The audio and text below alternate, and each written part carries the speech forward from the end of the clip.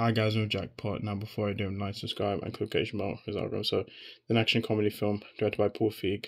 It stars Awkwafina, John Cena, Ayden Mayeri, Donald Elise Watkins, Sam Asghari, and Simu Liu. The film follows Katie, a former child actor who wins 3.6 billion lottery and must fend off people trying to kill her in a future version of California. Now, um, I remember they announced this they were going to do this in 2023. It was called Grand Theft Lotto, and this was read by Paul Feig. And um, Paul Feig, I like some of his movies. Like he did Heat, Bridesmaids, Spy, and he did Ghostbusters, which I didn't really like 2016. A Simple Favor, really good. Last Christmas, School for Good and Evil, and he will be doing the um, A Simple Favor too. So I was looking forward to this because I had he had a good cast. So it was on Prime.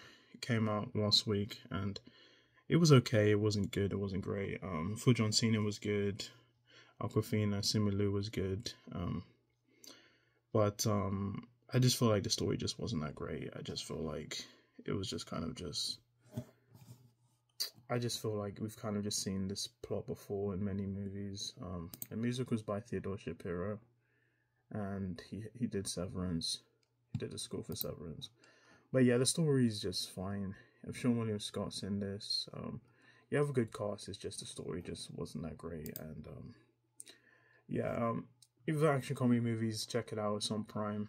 And um, yeah, I didn't even know this was coming out. They didn't really promote it, but um, yeah, I watched it. I give it a five out of ten. I'm probably not gonna watch this again, but um, yeah, that's Jackpot. That's what I have to say. Um, I think the acting was good. I just felt like overall the story just wasn't that great. So I give it 5 out of 10, guys. Thank you for watching my video. I'll see you next one. Bye.